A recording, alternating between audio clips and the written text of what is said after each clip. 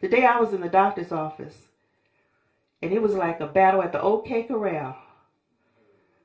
She told me uh, her diagnosis, and I just looked at her, and I said, I didn't crack a smile or anything. I just looked at her and said, okay. But then I said, I'm already the healed in the name of Jesus. And she looked at me like, she's not responding or anything like that. she's not saying anything, you know. But you know what? I already know. I'm healed. And then she said, but you know what? For your eyes, we have uh, uh, we have caught it right right on time. But see, at first she wanted to get a reaction, you know, to see what my response was going to be. But I just said, you know, I am the healed. Before I even went in there, I said, well, I am the healed. And I believe that. I believe what he did for me 2,000 years ago. You know, even though the, uh, the, the attacks are coming, you know, they're coming like here and there. But we're, we are standing on what he said, you know, in all areas. And our family has been through some, some different things here lately. But we know what he says, and we're standing on the word. Amen. I won't give you all details, but we're standing on the word. And then, so we should be asking, did Jesus take, okay, Matthew 8 17 says, Jesus himself took our infirmities and bore our sicknesses. So therefore, don't wonder if you have the right kind of faith to receive your healing. Take the focus off of my faith, me, I, and just rest in the finished work of Jesus Christ. Mark 5 28 reads, For she said, If only I may touch his clothes, I shall be well. Now, let me get back to my eyes. There was a point when I couldn't look at this paper and righteously read it. You know, but Jesus is good. I can stand here and read this paper. You know, I can read this paper because I say every night, I am healed. Every night, I am healed. Every part of my body is healed in the name of Jesus. You know, every night you know your body is renews itself. So you talk to your body every night and tell it what it, it better do. You tell it what it better do because it, it will do, if you allow it, whatever they, it want to do.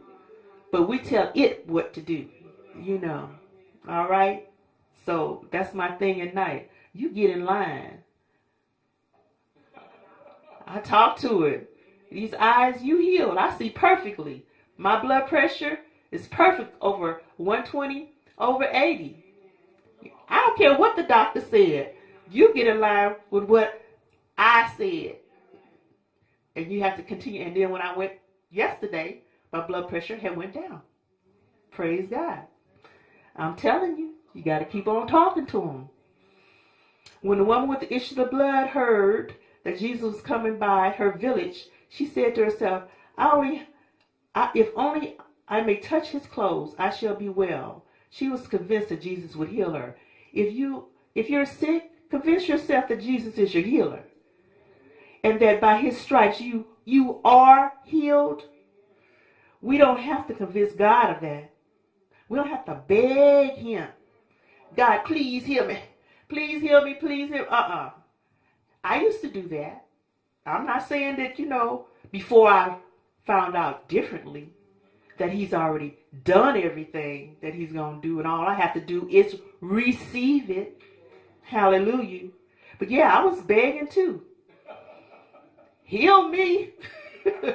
you know, we don't have to convince God because he is not the one who needs to be persuaded because his blessings are already on us.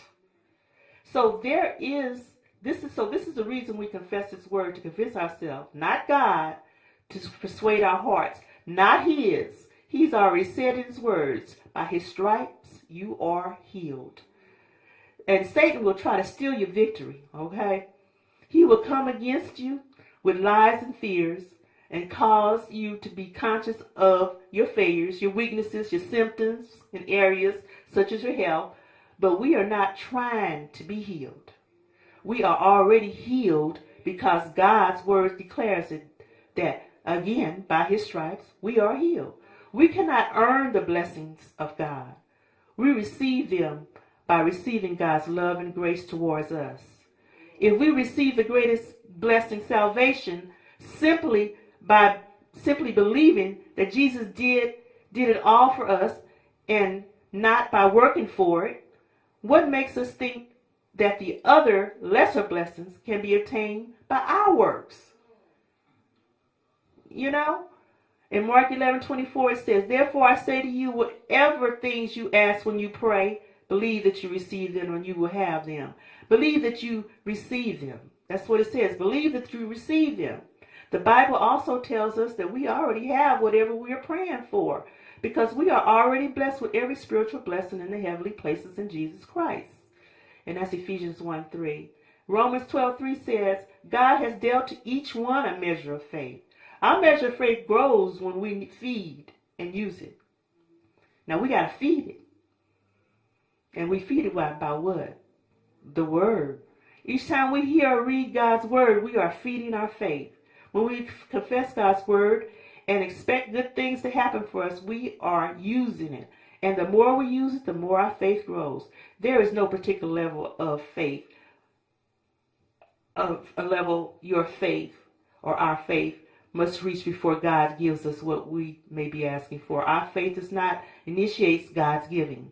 He's already given to to you or us all things that pertain to life and godliness. His blessings are pressing on us already. Regardless of the level of faith we're at, will respond. Jairus needed to go to wanted uh, Jesus to go to his house to lay hands on his daughter, and Jesus did. The centurion only needed Jesus to speak a word for his servant to be healed, and Jesus did. He met both their expectations. So, what makes you think he wants to uh, meet yours? So, we are not uh, to fix our eyes on how much or how little faith we have. Fix our eyes on the one who loves us, who has already given us what we need. When we come to him, simply believe that he is waiting to meet your expectation. He will say to you, Go your way as you have as you have believed. So let it be done for you. Regardless of the level of faith you, uh, you're at, God will respond and meet your need. So if you have a symptom or something going on, keep looking unto Jesus. See him taking that symptom or those circumstances. And if I say symptoms upon your body, he took it on the cross and say, Lord, I thank you that by his stripes I'm healed. I keep saying it, by his stripes I'm healed. As we keep looking to, into Jesus, our healer, that symptom will have to bow to his finished work. And if it's financial lack, what do you do? You keep looking unto Jesus Christ with a confident expectation that he will provide for us and deliver us from lack. We are to look to Jesus, look unto him the author and finisher of our faith, and soon we will be looking at our healing and our prosperity. Jesus is relaxed. Yeah, he's resting. While you up there working and trying to make him do something, he looking at you like, I done already did what I'm to do. You can't do nothing to make me do nothing else because I've already done it. When Jesus calmed the raging storm, all the disciples were on the deck screaming, we perish. All the while, Jesus was asleep in the bottom of the boat. He was kicked back at the bottom of the boat. The disciples were disciples were running and crying for help. but the word says, however, that the author and the finisher of faith was asleep on a pillow. There is no panic with Jesus. No panic. When Jesus heard that Lazarus was dying, we read. So when he heard that he was sick, he stayed two more days in the place where he was. We may thought, think, well, was that a responsible action of Jesus? Jesus would have, why did he hurry to the house of Mary, Martha, and Lazarus? Why did he get up and quickly perform a miracle? Again, Jesus exemplifies rest when we lift him up and we see how great he is and his love fills our heart, we too will be at rest. This restful faith causes our circumstances, whatever they may be, to change. It causes the diseases to be healed, the sicknesses, sicknesses to go. Jesus is relaxed in every situation. Example was the feeding of the 5,000. And it reads in Luke 9, 12, 17 through 17. Late in the afternoon, the 12 disciples came to him and said, sending crowds away to the nearby, nearby villages and farms so that they can find food and lodging for the night. There is nothing to eat here in this deserted place. This is the disciples now. But Jesus said, You feed them.